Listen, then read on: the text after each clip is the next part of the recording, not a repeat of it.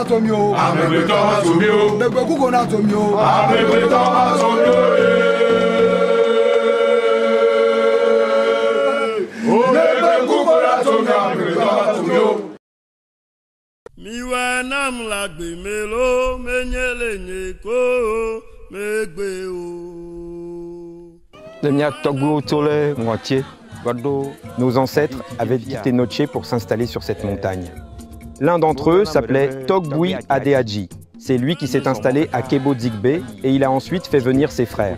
C'est comme ça qu'ils ont peuplé le mont Agou.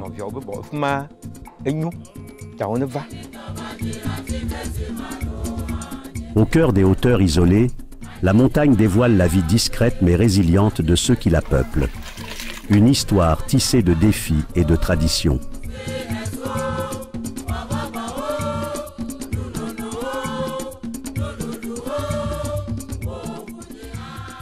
Nous sommes sur le mont Agou, le plus haut sommet du Togo, avec ses 986 mètres de hauteur. ɖe eh, eh, wogblẽ. Au temps de la guerre, quand les Ashanti du Ghana sont venus, cela n'a pas été facile. Nos ancêtres ont confectionné un gris-gris qui les protégeait des attaques des ennemis. C'est cette histoire qui fait la renommée de notre village.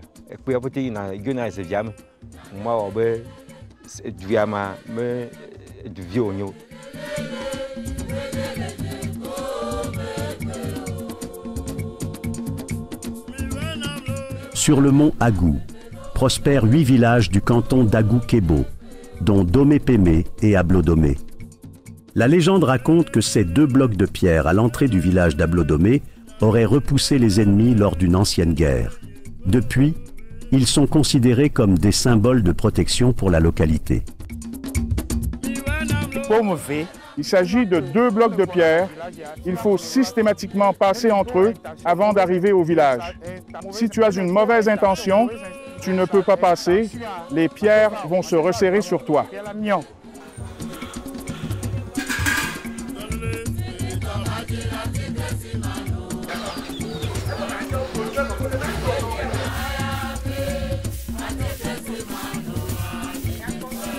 La résilience des communautés installées sur ces pentes escarpées puise ses racines dans leur histoire.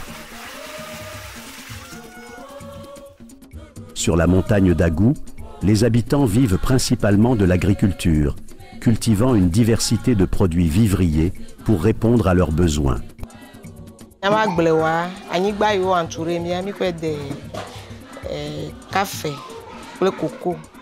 Nous cultivons le café, le cacao, l'avocat et les oranges sur les terres qui nous entourent. Sur la montagne, nous n'avons pas assez d'espace pour cultiver le maïs et l'igname. Nous marchons près de 3 à 4 km au pied de la montagne pour trouver une portion de terre et cultiver nos produits vivriers.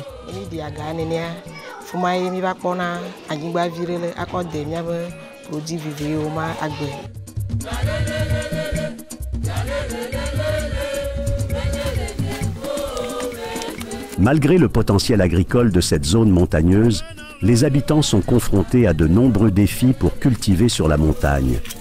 L'accès aux champs pour ces producteurs est un véritable parcours de combattants. Dame Rebecca, productrice de maïs à Ablodomé, partage avec nous son expérience.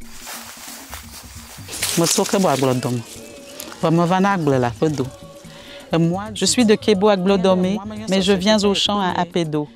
Nous marchons longtemps sur des chemins en pente avant de rejoindre le champ. Dès que j'arrive, je me sens très fatiguée. Souvent, je fais une pause avant de reprendre le travail. Même sur le chemin du retour, c'est la même routine. Je fais une pause avant de rentrer.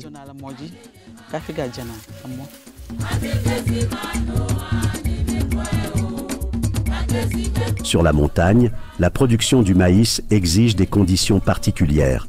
Sauf que pour cette saison, le climat a été favorable. Vu que nous sommes sur la montagne, s'il y a beaucoup de fraîcheur, le maïs n'assure pas bien sa croissance. Même cette année, nous avons eu la chance qu'il n'y ait pas assez de fraîcheur. C'est pour cela que nous cherchons des parcelles au pied de la montagne pour bien produire le maïs.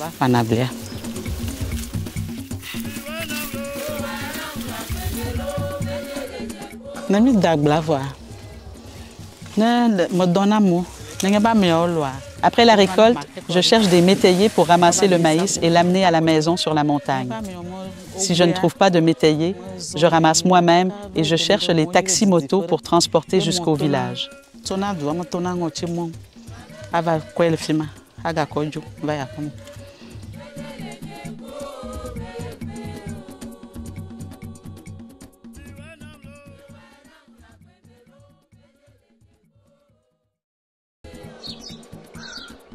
Un autre jour se lève sur le mont Agou. Nous sommes à Domépémé, village voisin d'Ablodomé. Ici, nous rencontrons Adjo, une grande productrice d'avocats et de cacao.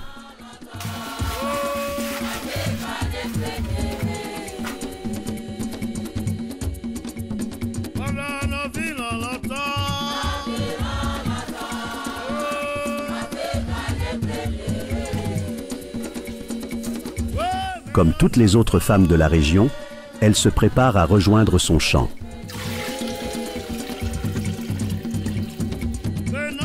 Mais avant de partir, elle doit s'enduire d'huile de citron pour se protéger des piqûres d'insectes très récurrents sur la montagne.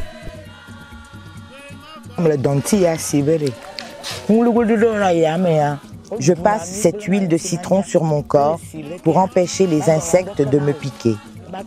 Souvent, quand ces insectes nous piquent, cela cause des démangeaisons sur notre peau. Quand nous passons le citron sur la peau, son odeur les chasse et ils ne peuvent plus nous piquer.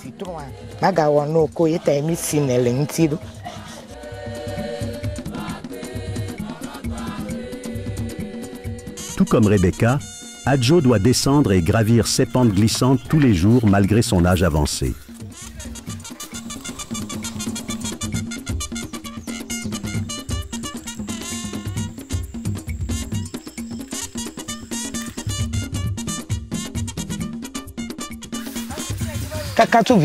J'ai grandi sur cette montagne. Malgré que j'ai vécu à l'étranger, je suis revenu sur la montagne pour y vivre.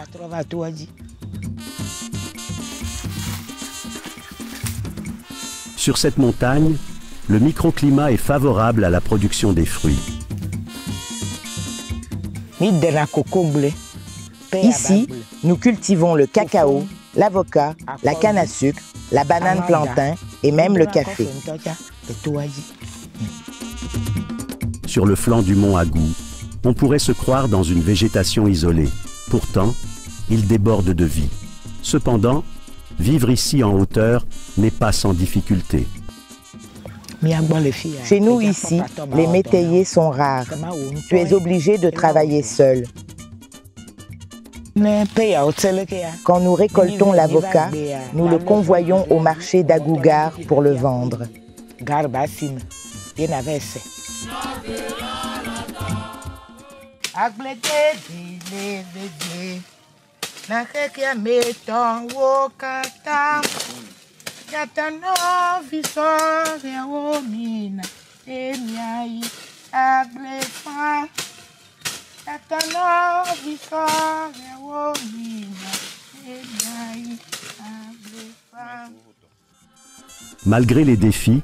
cette agricultrice reste optimiste et ne compte que sur la terre pour nourrir sa famille.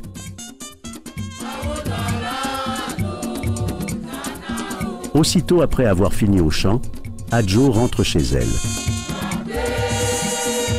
Aujourd'hui, c'est un jour spécial. Elle se prépare à aller au marché d'Agou qui s'anime déjà.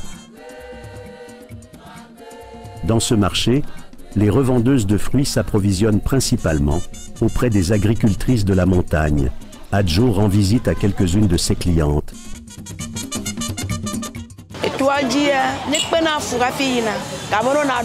C'est très difficile d'aller chercher les fruits sur la montagne et venir vendre au marché. Nous faisons beaucoup de dépenses et cela empiète sur notre revenu.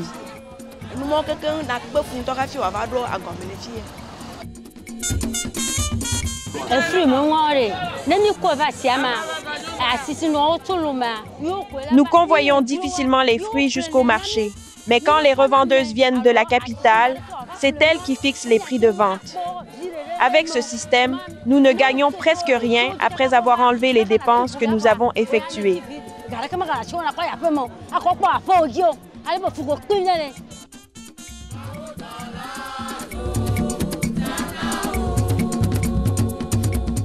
Si la richesse agricole de ces villages est indéniable, un autre aspect tout aussi impressionnant de la vie sur le mont Agou réside dans leur capacité à bâtir sur ces pentes escarpées. Une tâche loin d'être aisée, mais qui témoigne de l'ingéniosité, la solidarité et de la résilience de ces communautés face aux défis imposés par la montagne. Nos parents, en ici, euh, ça, ça, fait plusieurs euh, années déjà. C'est un milieu un peu difficile euh, en matière de bâtisse, en matière de production agricole, etc.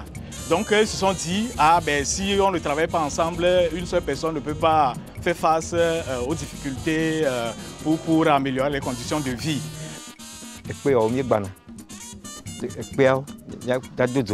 Nous cassons ces blocs de granit pour délimiter nos fondations. Quand la fondation est bien solide à un certain niveau, nous commençons par faire la construction.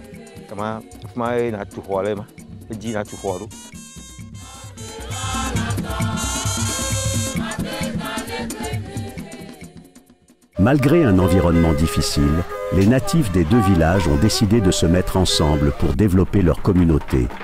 Cette cohésion a abouti à l'instauration, depuis plus de 40 ans de Dunenyo, un cadre de réflexion pour le développement du milieu.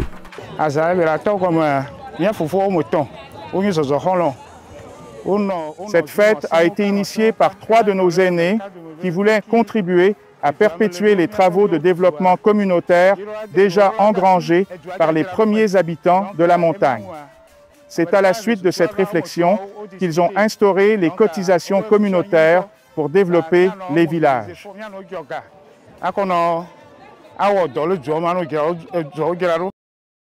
On revient pour nous ressourcer. Euh, nous sommes à Lomé, euh, nous vivons dans différents quartiers. C'est vraiment difficile que nous nous rencontrions. C'est l'occasion, tout le monde, presque tout le monde hein, est, est, arrivé pour qu'on puisse euh, euh, renforcer nos liens de, de, de, de paternité, d'origine d'une localité dont nous sommes fiers. Hein, les efforts que nous faisons pour le développement de, nos communautés, nous sommes fiers. On vient pour célébrer la chose, sympathiser, euh, mobiliser les moyens.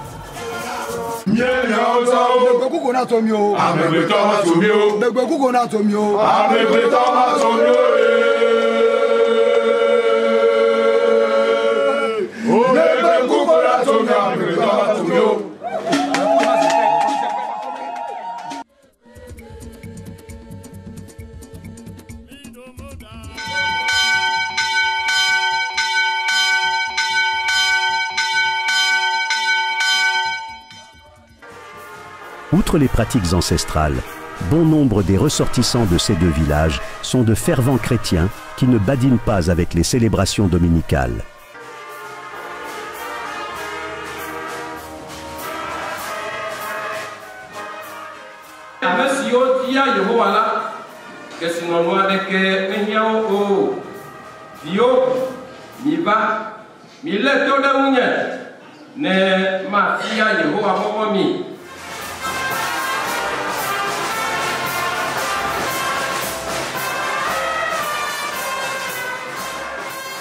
Dans notre message du jour, nous avons été clairs. Il faut que l'amour s'enracine dans notre village. Et j'espère qu'avec ce message, si tout le monde s'applique, je pense que euh, ça peut aider le village et ça peut renforcer aussi les liens.